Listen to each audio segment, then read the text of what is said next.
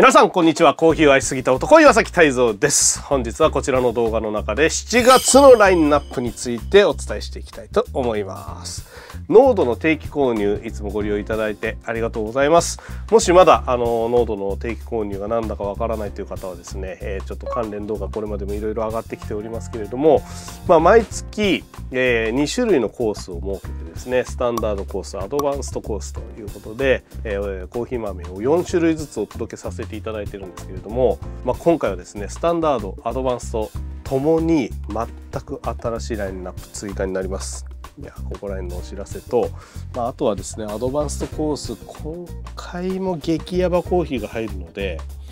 まちょっと本当にこんなにやばいコーヒーばっかり毎月お届けして大丈夫なんだろうかと、まあ、これまでキウイのインフュージョンパイナップルのインフュージョンねお届けしてきた流れで大丈夫ですか？皆さんアドバンストコースをお付き合いいただいている皆さん楽しんでいただいてますでしょうか？まあ、今回も激ヤバのコーヒーをお届けしようと思ってますのでそちらの詳細について、えー、この動画の中で解説させていただきます。是非とも最後までお付き合いください。さあそれでは行ってみましょう。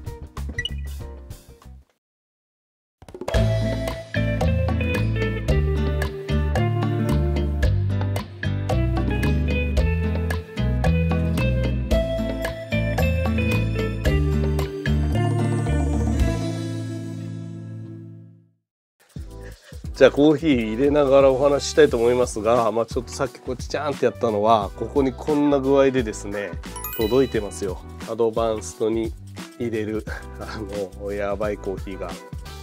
この木箱で届くってなかなかないですよね。かっこいいっすね。かっこよすぎてちょっと私もこういう姿見たことないですけどサンプルを試させていただいた段階でうわこれはもう絶妙だなと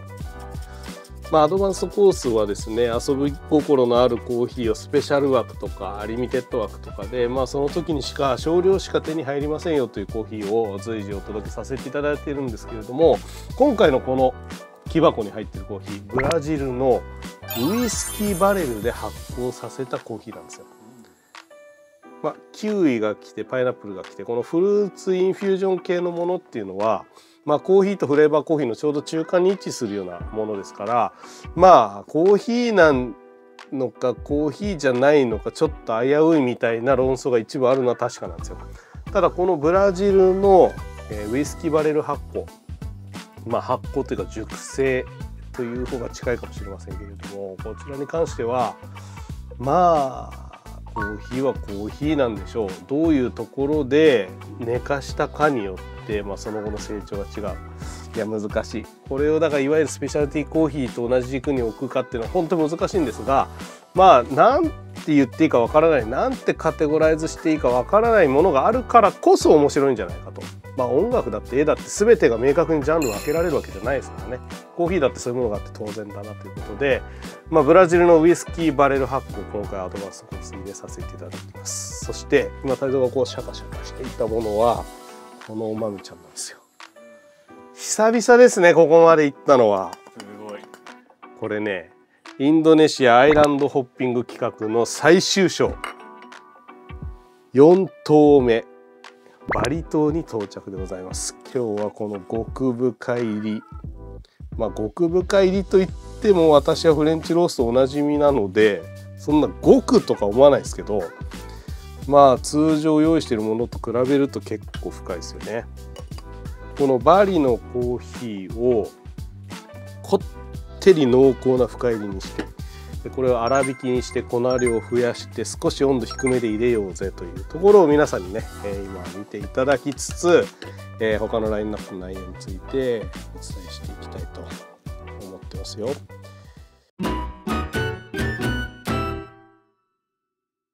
さあ深入り粗挽きなのである程度最初の注ぎゆっくりにしなきゃいけない問題っていうのがありますね。は一気にお湯注いでしまうとさーっと抜けちゃいますからね。さあ仕上がりました。フレンチローストのバリ。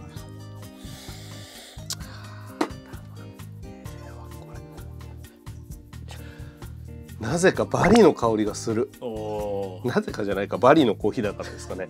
いやこれはねバリのコーヒーの香りがするって意味じゃなくてバリ島に行った時のあの街の匂いがする。え基本的にインドネシアの現地で出てくるコーヒーってめちゃくちゃ深いんですよ。一部のスペシャルティーコーヒーの専門店を除いてかなり深くて細くひいたコーヒーを使いますから、まあ、この焙煎度バリの生豆のね素材感と相まってもう絶妙っすねアイランドホッピング企画4ヶ月連続で本当にいろんなインドネシアの表情をお伝えしてきましたがやっぱり最後は現地感。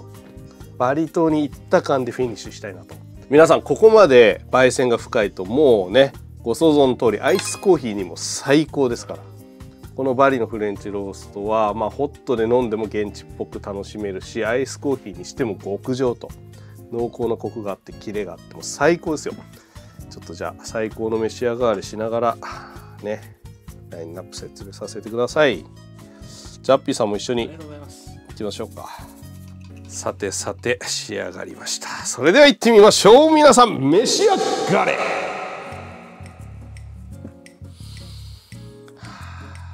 この涼しげなガラスの器も合いますね。うん。旅の味ですよ。旅の味もう最高ですうわーバリっぽいんだけどバリでここまでうまいコーヒーはな基本的にはあんまり飲んだ記憶がないかもしれないですね。タイズはインドネシアにコピーラックの旅ねもう何度も行ってきておりますけれども、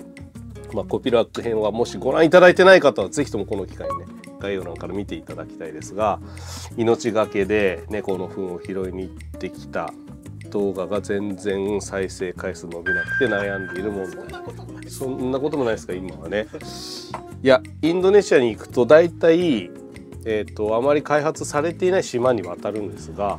バリ島を起点にして船で渡ったりローカルなプロペラ機でまあ渡ったりとかねするんですよね。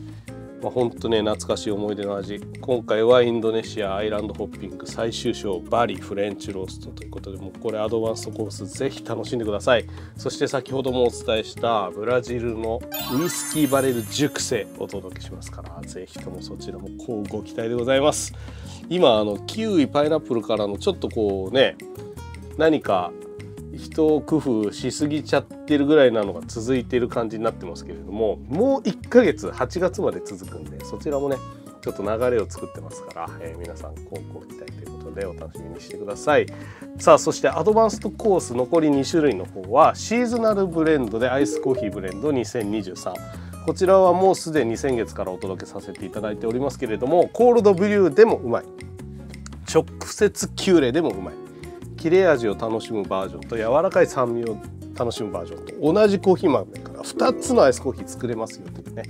アイスコーヒーブレンド。まあ近々アイスコーヒーの、まあ、その2つの顔を引き出す方法動画はね上がるんじゃないかなと思いますから、えー、とりあえずですね皆さんも実物の方いろいろと試してみていただきたいんですよ。これこそブレンドコーヒーの面白さだなと思いますけれども同じコーヒー豆でも入れ方アプローチ飲み方これ全然表情変わってきますからアイスコーヒーブレンドをお楽しみください。そしてアドバンストコースに入れさせていただくスタンダードがついに待望のコロンビアがお来ました。スタンダード枠から1種類、まあ、スタンダード枠というのは、まあ、通年通して基本的に変わらない品質変わらない味わい美味しさを皆さんにお届けできるようにということで私の方でラインナップさせていただいてるこの TCL にいつもあるコーヒー。コロンビアがなかなかちょうどいいのが見つからなくてスタンダード入りできてなかったんですけどもまあこの焙煎所ができた当時からずっと今でもコロンビアのコーヒーはもう一番使用量多いんです。ただし品質に若干ムラがあったりとかまあ焙煎後のハンドピックが濃度のクオリティに上げるためにかなり手間がかかったりとかですねいろんな事情があってコロンビアをスタンダード入りすることができなかったんですけどこの度ついにコロンビア始まりました。ということで1ヶ月目なのでアドバンスコースにも入れさせていただきます。このコロンビアエリアでいうとウィラですね。ウィラ地方というのは比較的まあ古典っていうよりは最近になって注目され始めた新興産地なんですけれどもかなり大きい規模で作っている。まあ、そちらのコロンビアの安定感柔らかくクリーミーでマイルドなコーヒー、まあ、そちらね楽しんでいただきたいなと思います。アドバンストコースはバリアイランドホッピング最終ショフレンチローストブラジルバレルエイジのこちらは朝入りハイローストでお届けします。そしてアイスコーヒーブレンド2023スタンダードワークからコロンビア。コロンビアは、まあ、ハイローストですね。2ハゼに入れないギリギリぐらいのところ、まあ、中入りぐらいっていうんですかね日本語で言うとしたら、まあ、これ本当に使い勝手いいので、まあ、これまで TCL で皆さんにすでにお届けさせていただいているタイ近いかもしれないですね。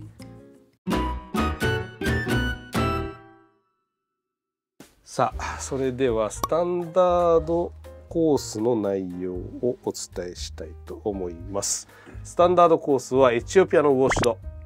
いやーいいですね。爽やかですね。そしてコロンビアのハイロースト。今月から始まります。コロンビアのハイローストですね。そしてペルのフレンチロースト。すごいな。結構浅めにいってるエチオピアなのでエチオピアコロンビアペルこれ焙煎度的にもちょうどいい感じで3種類組み合わさるんですね。まあ、そこに追い打ちをかけるかのようなアイスコーヒーブレンド2023どんな入れ方どんな味わいでも対応できますよというブレンド。スタンダードコースもかなり面白いセットになりましたね。7月。是非ともお楽しみいただければと思います。こちらの濃度定期購入に関してはもう基本的に定員いっぱいという状態が続いていたんですけれども今回若干数え追加で、え販売できそうという形になってきております。TCL の方も、まあ、出荷ラインの方もですね、えー、多くの皆さんに楽しんでいただけるようにいろいろと状況をブラッシュアップし続けてますから定期購入興味があるけれどもなかなかタイミングが合わなくて購入することができていなかったという方いらっしゃいましたら今回は2週目の発送分が6月30日から7月7日まで販売させていただきます。4週目販売の方が7月14日から7月21日までこの期間で新しく定期購入の枠 EC サイトの方にですね出ることになってますのでよかったら概要欄の方からそちらの情報をチェックしていただければ嬉しいです。さあ今梅雨真っ盛りということでなかなか何とも言えない天気が続きますけれども色とりどりのコーヒーを楽しんでいただきながらまたアイスコーヒーも結構日常の中で楽しめるような気候になってきましたよね。まあ、ホットアイスどっちにしようかなっていうところからどの豆を使おうかなどんな入れ方をしようかな、まあ、こういうワクワクの中で雨でなかなかねレジャー外出できないっていう日も多くなってきてるかなと思いますけれどもご自宅でのコーヒーライフ楽しんでいただければと思います。それでは皆さんまたお会いしましょう。ハッピーなコーヒーライフ